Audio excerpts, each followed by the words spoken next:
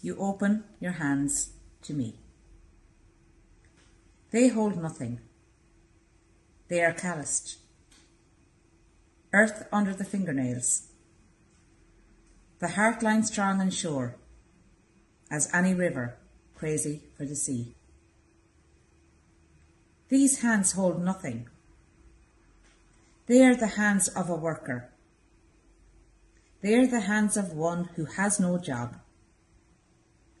They have tucked a whole city up at night and in the morning cast it adrift.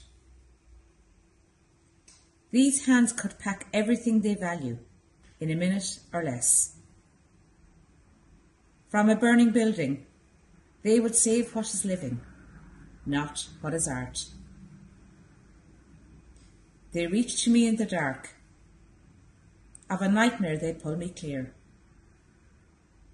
They place the particular stars I prefer at my window on cloudy nights.